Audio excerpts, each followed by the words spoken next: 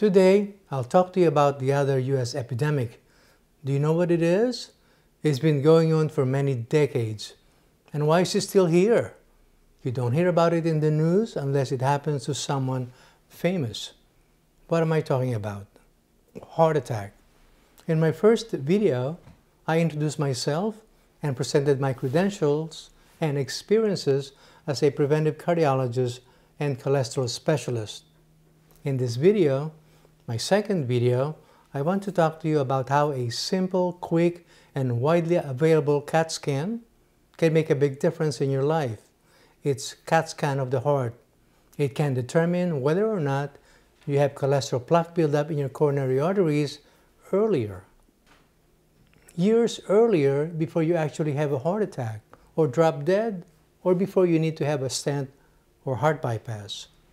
Stick around at the end because I'll show you selected video clips from an important documentary called The Widowmaker. I want to give a shout out to Irish entrepreneur David Bobbitt, who spent his own money to produce this film. This film introduced coronary calcium scoring to the public and even health professionals.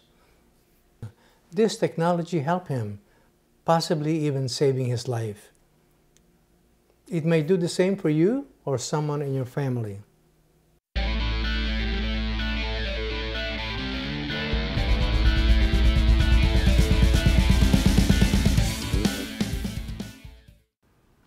This is Dr. deGoma, your Internet Dr. Heart MD.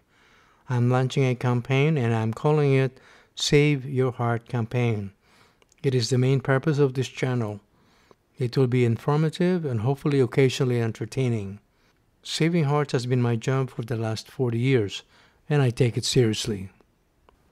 Every day, several jumbo jet loads of Americans crash to their death that for the last 20 years has been considered largely preventable. Just look at these numbers 356,000 out of hospital cardiac arrest with only 10% survival, 605,000 new heart attacks, coronary calcium scoring can reduce these numbers significantly. Heart attack is the number one killer of adult Americans, killing one person every 36 seconds. It kills twice as many Americans in one year than the Second World War killed in four years. After a few decades of decline, heart disease still killed 655,000 in 2019, and alarmingly, it is on the rise again since 2010. The total economic toll is huge $450 billion a year and growing. In my first video, I mentioned that my practice developed care innovations that help treat most patients successfully.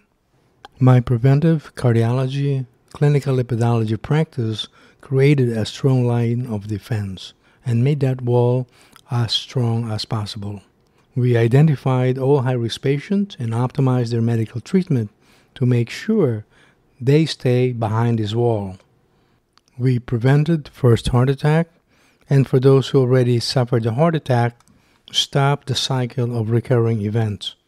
This is what's waiting on the other side of that wall heart attack, stroke, sudden death, stent, bypass, and the other specialists needed to provide the more expensive care.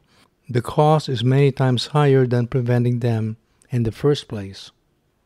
But in reality, there are more powerful and more important players. Medicare, private insurance, including HMOs, hospitals, device manufacturer, and big pharma. There is a big imbalance in this picture only preventive cardiologists are on the left side and the rest are on the other side. Why is that? In 2015, Dr. Kim Williams, the president of the American College of Cardiology, made this statement. It is time to turn off the faucet instead of just mopping the floor. That is a loaded statement. What kind of faucet is Dr. Williams talking about? Let's look closely at this faucet. There is one control valve and there are two spouts, money flowing from one and flowing heart attack patients from the other. They are tied up together because of the way insurance companies, including Medicare, reimburse hospitals and physicians. That model of reimbursement may be fine before highly effective cardiovascular disease prevention is a reality. But now that it is, this method of reimbursement in cardiology is out of step. Without widespread aggressive prevention in high risk patients, like it is now, this is what healthcare looks like. That strong wall of defense against cardiovascular events does not exist. Let's bring in the faucet. The faucet is wide open, it's spilling out with patient having cardiovascular events and also spilling out healthcare dollars. As you notice, all the healthcare dollars are flowing into just one side. There's nothing on prevention. There's no reimbursement for prevention. Clearly, this is a dysfunctional healthcare system. It does not work. Wait, maybe it works, but it only works for the insurance companies and for hospitals, but not for patients or the country. Exactly how many Americans are we talking about? How many first heart attacks every year? That's 600,000.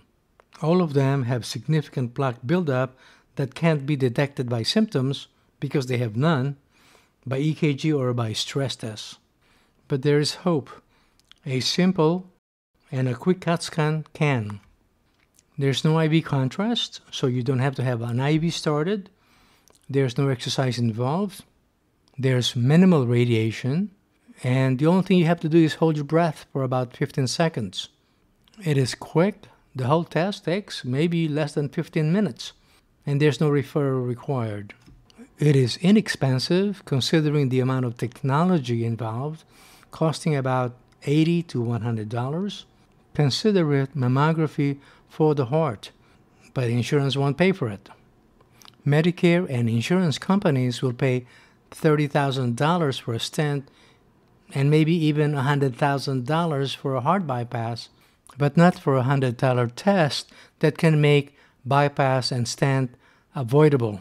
The cardiovascular sector of the healthcare economy is clearly dysfunctional and ripe for disruption, innovative disruption. Without coronary calcium scoring, which is what this technology is called, the way to assess risk for heart attack, stroke, and sudden death is a checklist of risk factors. And then a probability equation takes over and tells the doctor if you're at high risk. I call this approach cardiac palmistry. It's palm reading. Can you imagine, rather than having a mammography, a 55 year old woman is asked a set of risk factors for breast cancer and say to her, You're fine. You don't need mammography. Don't worry. That is just not acceptable, right? One of those 600,000 Americans who suffered first heart attack last year was John at age 55. Here's an inside look of what John's coronary arteries might have looked like years before the heart attack. But John had no symptoms until that day. His EKG was normal, and his $10,000 nuclear stress test was also normal. That is a common scenario. So, why did John have a heart attack? Without any warning, one of John's plaques ruptured suddenly. The plaque rupture triggered the formation of a clot which completely obstructed the artery. That's a heart attack. If John had a CAT scan of the coronary arteries for coronary calcium scoring a year before, it might look like this. There are three major arteries, and the black markers represent areas of calcification within the plaques. His coronary calcium score was very high, 1075. John could have received a comprehensive medical treatment that could have prevented a heart attack. In about one out of four, it's sudden death. You're probably asking why won't insurance pay for this test? What did it cost John? John was lucky. He could have just dropped dead like the over 200,000 Americans do every year. John sustained permanent heart damage. His heart was left slightly weak. John had a stent and was in the hospital for about a week. Hospital charges $100,000. John was not able to work for one month. John needs six new medications, but John can avoid a second heart attack for the rest of his life if he adheres to the right medical treatment. This treatment can stop coronary plaque progression, stop new plaque formation, prevent plaque rupture, and even induce plaque regression coronary calcium scoring earlier and the medical treatment that followed could have prevented what happened to John. A $100 test saved $100,000 of medical expenses. So, know your score. You're probably asking why won't insurance pay for this test? Watch these video clips from the Widowmaker and you'll find and out. have any coronary disease. You could have none of the risk factors and have coronary disease. But if you have a coronary scan and you see calcium, you know you have disease. It's not a risk factor. It is looking at the disease, part of the disease process. We could have gotten there in a perfect world. We could have gotten there in three to five years. We'd all gotten behind it in the, in the beginning. Well, and so what? Well, how many lives do you think would have been saved if we'd done it in 1990? Um, what we're doing now in 2013? And the answer is? A lot.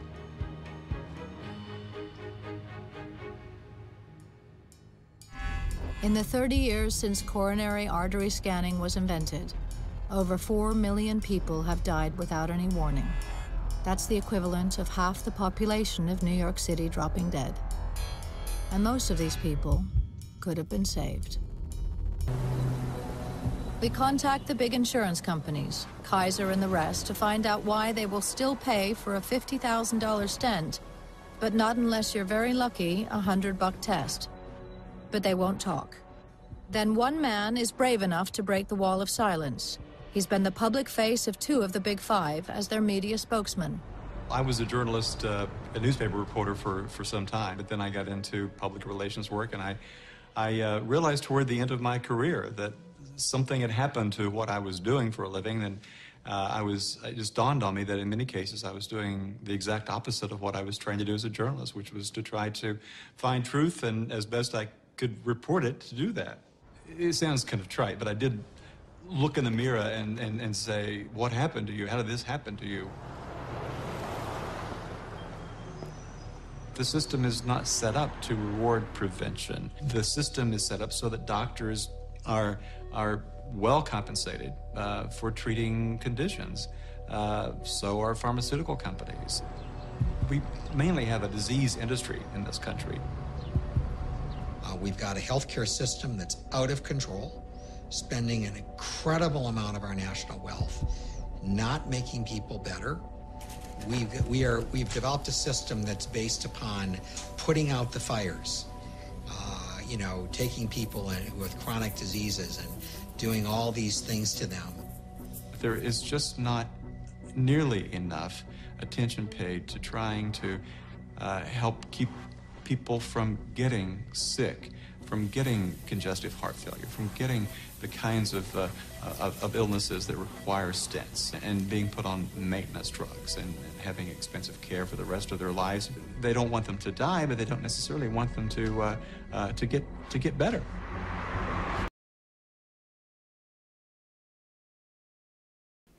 If we want to end heart disease as we know it, we need to disrupt the current cardiovascular healthcare system because it's not geared to end it. American determination created a vaccine in less than one year. We can use the same American ingenuity to end the heart attack epidemic. Over 300,000 have already lost their lives to COVID 19 in less than a year.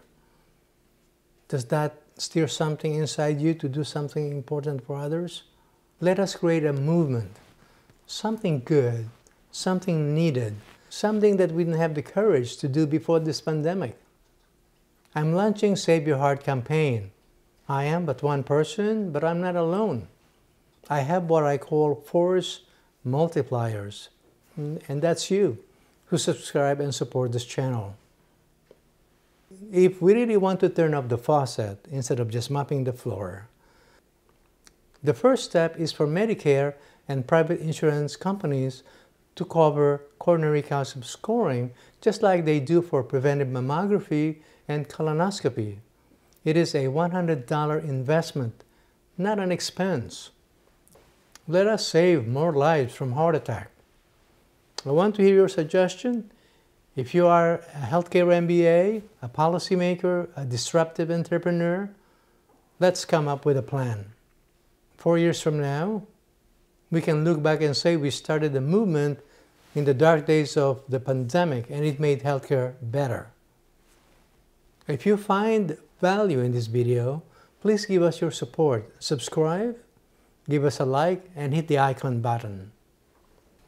My next video is about my COVID vaccine.